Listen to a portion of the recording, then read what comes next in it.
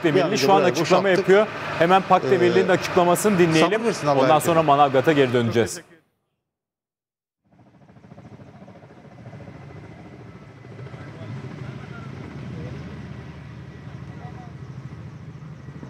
Sayın Bakan bir poza gel.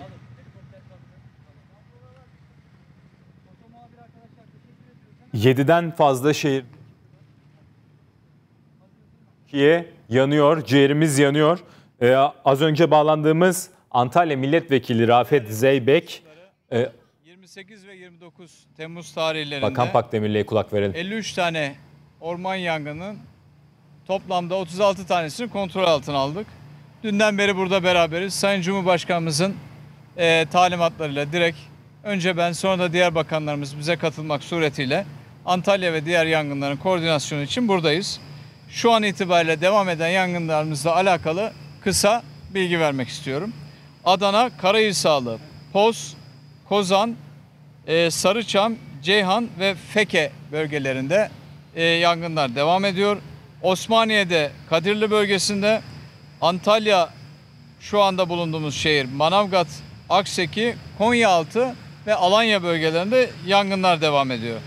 Kayseri'de Yahyalı bölgesinde yangın devam ediyor. Mersin'de dünden beri devam eden Aydıncık yangınıyla alakalı 202 hane boşaltılmıştır. Bununla beraber verilen karşı ateş sayesinde bu yangın olumlu yönde ilerlemektedir. Henüz kontrol altına alınmamıştır. Hakeza Silifke'de de iki ayrı beldede toplamda 600 hane ihtiyaten boşaltılmış olup bunun da pozitif yönde e, gidiyor olması e, en azından teselli edicidir. Bozyazı'daki e, Mersin Bozyazı'daki yangın söndü. Soğutma çalışmaları devam ediyor. Bu yeni bilgi. E, Kütahya Emet'te bir yangın devam ediyor. Geçtiğimiz saatlerde e, Muğla elimizde de çeşitli yangınlar çıktı. Marmaris, Didim ve Güvercinlik olmak üzere 3 ayrı yangın devam ediyor. Güvercinlik'te bir otelin e, boşaltılması, tahliyesi e, söz konusu oldu ve tahliye başladı. E, tüm bu yangınlara 3 uçak, 38 helikopter, 472 arazöz ve toplamda tüm kurumlardan katılan e, aşağı yukarı 4000 personelle e, bu yangınlarla mücadele ediyoruz. 183 vatandaşımız toplamda bu yangınlardan etkilendi. 15'i e, taburcu oldu ve e, buradaki Manavgat Devlet Hastanesi'ne de 10 entübe arkadaşımız e, ihtiyaten e, başka bir e, hastaneye e, taşındı. Şu an için bu hastanemizde devlet hastanesinde bir risk bulunmamakla beraber e, bu ihtiyaten öğle saatlerinde yapıldı. Maalesef Antalya'da 3 can kaybımız var. Hepimizin başı sağ olsun. E, her zaman e, tüm açıklamalarımda söylediğim gibi lütfen devletin yapmış olduğu uyarılara mutlaka uyalım. E, evimizi bırakmamız gerekiyorsa, aracımızı bırakmamız gerekiyorsa geride bunları bırakalım. Hiçbir şey e, mal elbette değerli ama canımızdan değerli değil diyoruz. E, maalesef bugün itibariyle uzun zamana yayılması gereken veya uzun zamanda çıkması beklenen birçok yangının bir veya iki gün içerisinde çıkmış olduğu bir günü yaşıyoruz hep birlikte. Kontrol altına alma mücadelemiz devam ediyor. Elbette kontrol altına alacağız. Ancak bu biraz zaman alabilir. Ee, ama devlet tüm kurumlarıyla burada. En başta devletin üç bakanı burada. Çeşitli bakanlarımız geldi gitti. Bakan yardımcılarımız gelip gidiyor. Ciddi bir koordinasyon kurduk ve bu koordinasyonumuz devam ediyor. Ee, yangınların sebebiyle alakalı elbette dediğim gibi e, bizim şu anda yangınların sebebinden çok yangınların söndürülmesi e, bizi daha çok alakadar ediyor. Ama sebebiyle ilgili de çok yönlü soruşturma ve araştırma ilgili kolluk kuvvetleri ve adli e, merciler tarafından e, yapılıyor.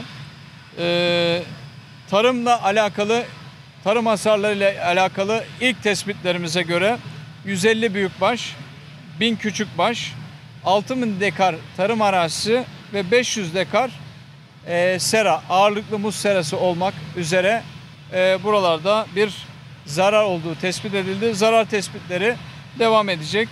Meteorolojik olarak da söyleyebileceğim yüksek süratli rüzgarın e, şu anda hala devamı söz konusu.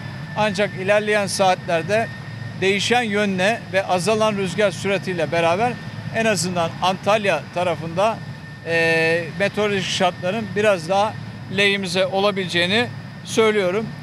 E, sizler vasıtasıyla ben öncelikle e, günlerdir uyumayan orman kahramanlarımıza teşekkür etmek istiyorum. Tüm belediyelerimize, jandarmamıza, emniyetimize, valiliğimize, AFAD'a, Kızılay'a, Çevre Şehircilik Bakanlığımıza, Dışişleri Bakanımıza, bakanlarımıza, e, tüm katkı koyan kurumlara ayrıca teşekkür etmek istiyorum. E, hepinizi saygıyla selamlıyorum. Teşekkür ediyorum.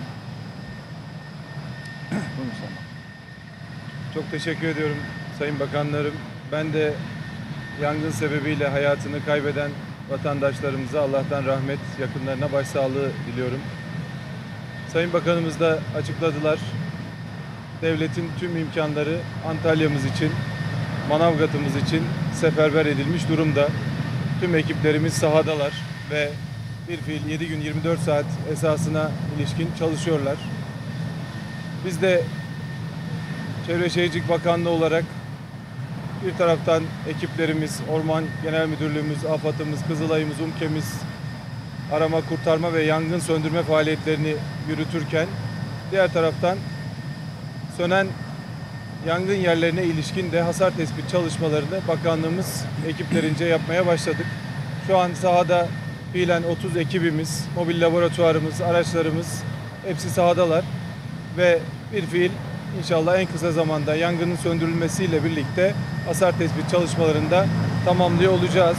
Şu an itibariyle Evren Seki Mahallesi'nde, Kalemler Mahallesi'nde, Yavru Doğan Mahallesi'nde, Çolaklı ve Yeniköy mahallelerinde hasar tespit çalışmaları başlatılmış durumda. Ve bu çerçevede 76 yapı, 155 bağımsız bölüm incelendi ve bu çerçevede de 77 bağımsız bölümün yanarak acil ağır hasarlı veya yıkık olduğu tespiti yapıldı.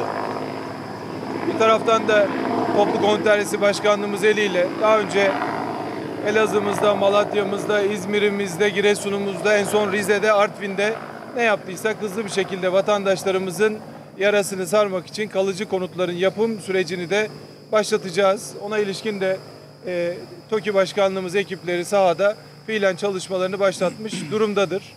E, Antalya'mızın yaralarını sarmak için ki bu süreçte vatandaşlarımıza gerek taşınma yardımı, gerek kira yardımı, gerek eşya yardımı olarak verilmesi gereken tüm yardımları da koordine etmek suretiyle inşallah e, Antalya'mızın yaralarını en kısa sürede saracağız. Bunun dışında da Sayın Bakanımız da ifade etti. Türkiye'nin değişik illerinde de orman yangınları var. Yine yerleşim alanlarını etkileyen e, yangınlarımız mevcut. Buna ilişkin de ekiplerimiz sahada bir fiil tespitlerini yapmaktadır. Tüm Antalya'mıza, Manavgat'ımıza geçmiş olsun diyorum. Başımız sağ olsun.